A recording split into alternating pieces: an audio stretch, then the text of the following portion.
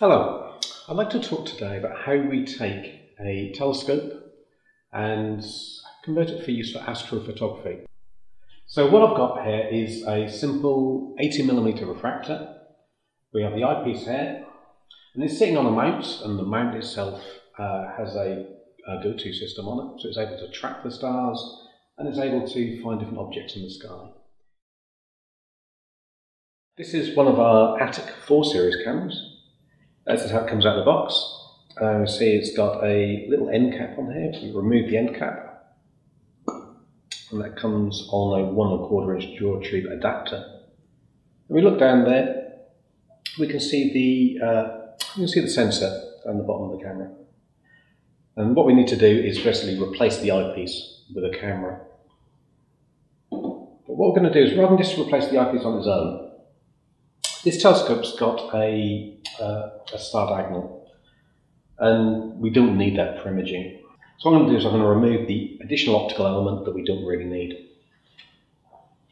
Let's pop that down there, and then we come up with the, the next problem that we're going to need to uh, find a solution for. We put this camera into this eyepiece uh, and this focuser tube. Obviously, we need some kind of adapter there to hold it. The focuser in this case is 2 inch and we've got a 1 and a quarter inch uh, draw tube on this side. So what we need is a 2 inch to 1 and a quarter inch adapter. Uh, what we're doing to do that is just slide the camera into there, do that little grub screw up. Then this is now a 2 inch and that can slide into our draw tube. Okay, now this obviously is physically connected to the telescope, uh, we have to bear something, one more thing in mind, and that is when we have this diagonal in place, it placed the eyepiece relatively far away from the focuser tube. Uh, when we're looking to kind of gauge roughly where the camera is going to need to sit to come into focus, the what we need to consider is the front of the camera should be roughly where the front of the eyepiece would normally sit. So you may find that the focuser itself can just be racked out far enough that that will place the camera in roughly the right position. And here this is pretty close. There are some downsides. Uh, if you pull some focuser tubes out too far, they can start to get a bit wobbly. But what we're going to do, just to kind of demonstrate this piece, is we can introduce some adapters again.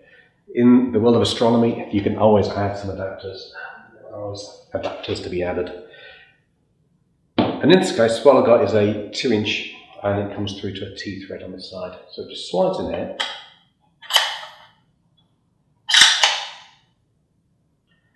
And then in this case, we could use this one just with a 2 inch draw tube and the grub screws there to do it. But what I'm going to show you here is how to connect this up to a T thread. So if we undo the one and a quarter inch adapter, what we reveal under here is an Astronomy standard T thread. Wherever possible, try using T threads uh, in preference to draw tubes because you tend they tend to be more secure. Oh, so, there you go. So then this is screwed into the focuser tube, it's really quite solid and has very little flexure at that point, and it's in roughly the right place that we should be able to gain focus. So we could look at guiding next, but what I'm going to do is first of all talk about adding filters or filter wheel. So if we have a monochrome camera, uh, it's quite useful to get colour images by using red, green, blue filters, maybe use narrowband to get around light pollution, that kind of things. And we're going to want to use a USB controlled filter wheel to do this. So this is the Atik EFW2. Uh, has a USB controller in there, so we can use a computer to select which filter is going to be in place next. I've connected this up using the T-thread on the back of the EFW2, connecting directly to the camera. The connection here is a very short back focus, so it's a flush fitting, so it means that we get the camera as close as possible to the front of this optical train which kind of helps with the number of systems where back focus is limited. Uh, what we what we tend to do when we image is to align one of the axes of the CCD up with the RA axis and one up with the Dec axis. And to do this simply, you can kind of see where the axis is on this camera, so up is in this direction, side to side. And we can align the camera such that that corresponds to the two axes we have on our telescope. What I'd want to mention is the Atik 1. This is an Atik 1 camera. Uh, we called it the 1 because it has an internal integrated filter wheel. So it's just the one system to do your RGB and your narrowband imaging. So the, the filter wheel is actually just inside and got a standard T-thread on the outside again. These cameras need just a single 12 volt input and a USB connection, so it makes things more integrated more simple than adding an external wheel onto them. So I'm just going to put a 2 inch adapter in here. Oops, find the threads.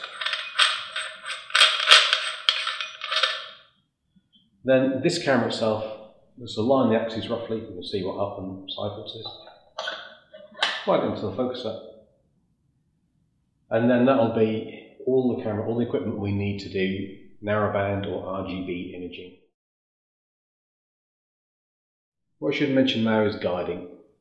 Uh, basically to take longer duration pictures. So if you want to get into the pictures with exposure times over a minute, up to 20 minutes, and up to several hours if you really want to push it, what you need to do is to actually guide the telescope. So there you have one camera taking pictures every second or so and sending corrections to the mount to make sure that the main camera remains steady and focused on the object you're looking at. There's a couple of ways of doing this. Uh, we could mount a second telescope parallel to the first one and put a camera on the back of that. That's a very simple way of doing it. However, what I really want to mention now is using off-axis guiding. If I pick up one, an off-axis guider here, what this consists of is a tiny little pick-off prism. And so some of the light that's going to miss the main imaging sensor, which will just be in the middle here. So some of the off-axis light will be bounced up, up at a different angle and onto a camera, the guide camera, that's at 90 degrees to the main imaging camera. Loads of benefits from doing it this way. Uh, mainly related to the fact that you've got a single scope, so a single imaging train. You're not worried about any differential flexure between two different optical tubes. What we also need is a way of telling the mount what corrections it needs to make.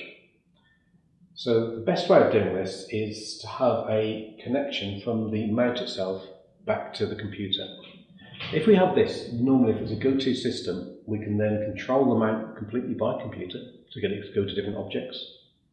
And also when the images are coming back from the guide camera, uh, the computer software will work out what corrections are needed and it can then come back through the USB lead and the mount will then interpret how much correction it will need to do. Uh, that's not the only way we can send corrections to a mount. So there's a slightly older standard called the ST4 standard. And this is one of our 3 series cameras. And here we have an ST4 port. Uh, this was originally designed to work with relays and uh, sort of slightly more basic electronic drives. What this will do is that it will link directly into a guider port if the mount supports guiding using the ST4 standard. Uh, the computer will take images from the guide camera, it will then interpret them and work out what corrections are needed, and then send them via the USB link into the camera. The camera will then send it to the mount using the ST4 link. Okay, I think the last thing I'd like to talk to you about is adding a focal reducer into the imaging train. This is actually going to change the focal ratio we're imaging at. So a, an example, a f7 scope could go down to f3. And that will make it a lot faster and more suited to astrophotography. Now the thing we need to take most care of when we're looking at focal reducers is their back focus requirements. So when we're using a simple camera, we could just use the focuser tube to basically space the CCD, the camera, the right distance from the front of the, uh, the front optical assembly. When we've got the focal reducer in place, these will have a specification for the distance that the back element of the focal reducer needs to be from the CCD. So that will be that distance there to the distance where the CCD is inside the camera itself. We, on our website, will describe how far the CCD is from the front of the camera. You may then need to have some different spacer tubes made or bought to space the focal reducer the correct distance away from the CCD element itself. Okay, we've mentioned uh, adapters an awful lot. So in astrophotography, you have many different types of adapters to adapt from different thread types and different draw tubes. The right people to be talking to about uh, which adapters you may need are Atik dealers. They will know all about cameras, they will know about many of the different telescope types that are out there, and they may well even have the right parts in stock to be able to allow you to connect the cameras directly up to your telescope. Okay, we've covered an awful lot. I hope that's been useful, and thank you very much for watching.